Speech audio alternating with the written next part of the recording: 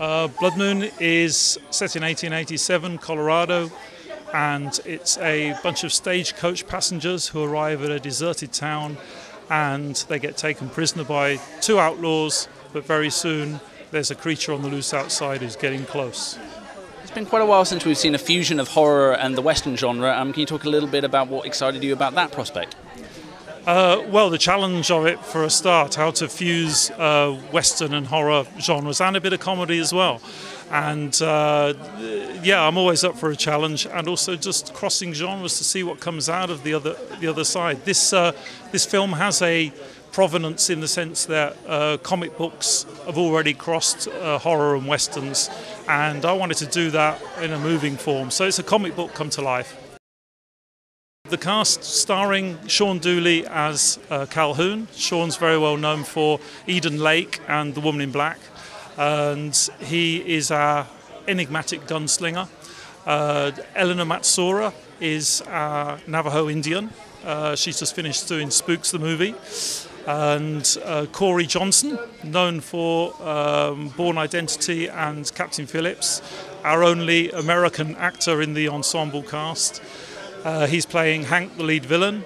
Raffaello Degruttola playing Jeb, his sidekick, and then Amber Jean Rowan, a actress who uh, used to be a model in Ireland, is now turned actress, and this is her second movie, so she's new. And um, and then George Webster is also new to the um, to feature films, and he's just 21. So we've got some new young rising talent as well as some older established talent. Well, I hope audience will be intrigued enough to buy the DVD um, because there's some great extras on the DVD about how we shot this in uh, in Kent, in the UK, even though it's a, an American western. Um, but also, I think um, you know, so it's a low-budget independent movie, and uh, it's it's it's important. I think that filmmakers think we can be ambitious, but we can still achieve it on a low budget. And I think you know, I've I've learned over the years to just think cleverly about how to achieve something that's more uh, bang for the bucks than uh, you'd think.